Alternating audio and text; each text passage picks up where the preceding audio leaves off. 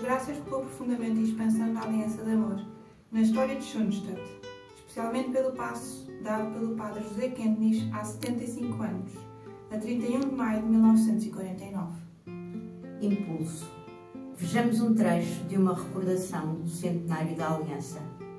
Os dias em Schoenstatt continuam a brilhar em nós e a dar-nos força e motivação em muitos lugares. Durante esses dias, senti muitas vezes pena das várias pessoas que trabalham na Igreja e para a Igreja, mas que lutam contra a sorte e se encontram insatisfeitas e pessimistas. Quantas coisas foram perdidas por eles por não terem vivenciado este evento tão entusiasmante? Esta alegria, esta serenidade, este entusiasmo, especialmente dos sul-americanos, impressionaram-nos profundamente, mas também nos deram esperança de que a ideia de Schoenstatt continuará a ser vivida no contexto do jubileu dos 200 anos.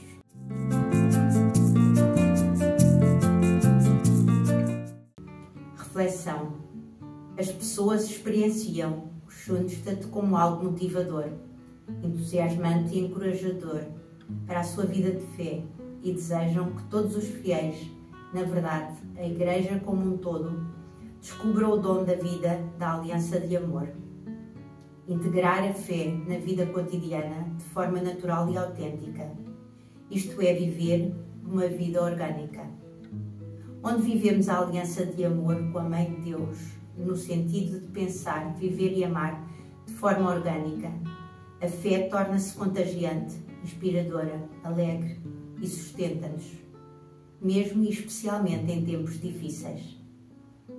Desejamos um coração atento e o dom de uma nova linguagem, como Maria com os apóstolos no cenáculo de Pentecostes, para que nós, como Igreja, possamos compreender as pessoas do nosso tempo e alcançar de novo os corações com as boas novas do Reino do Pai.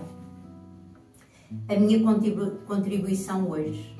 Que pensamentos me inflamam e podem ser colocados em prática, para que eu também possa levar o fogo da missão à Igreja nos dias de hoje.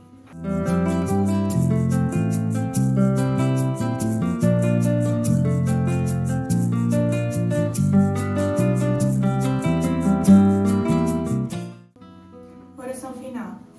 Querida Mãe, Rainha e Vencedora, três vezes admirável de Schoenstatt. A nossa família mundial nasceu à sombra do santuário.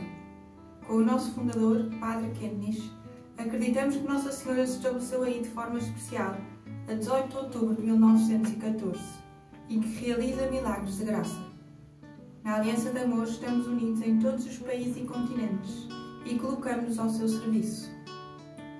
Todos os que aqui vierem para rezar devem experimentar a glória de Maria e confessar: É bom estar aqui. Queremos construir aqui tendas. Este deve ser o nosso lugarzinho predileto. Quem conhece o passado da nossa congregação não terá dificuldade em acreditar que a providência divina tem planos especiais a seu respeito. Juntos queremos transmitir o teu dom às pessoas. Juntos queremos aproveitar todas as oportunidades para avaliar adequadamente os desafios dos principais processos de mudança no mundo e na Igreja.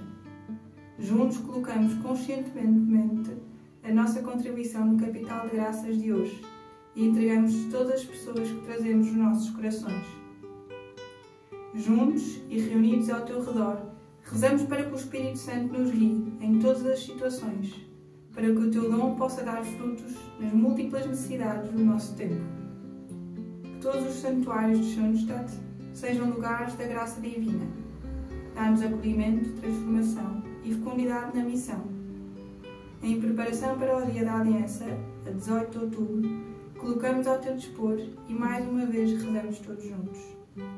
Ó Senhora minha, ó minha Mãe, eu me ofereço toda a vós e em prova da minha devoção para convosco, vos consagro neste dia e para sempre os meus olhos, os meus ouvidos, a minha boca, o meu coração, inteiramente todo o meu ser, e porque assim sou vosso incomparável Mãe, guardai-me e defendei-me como coisa propriedade vossa.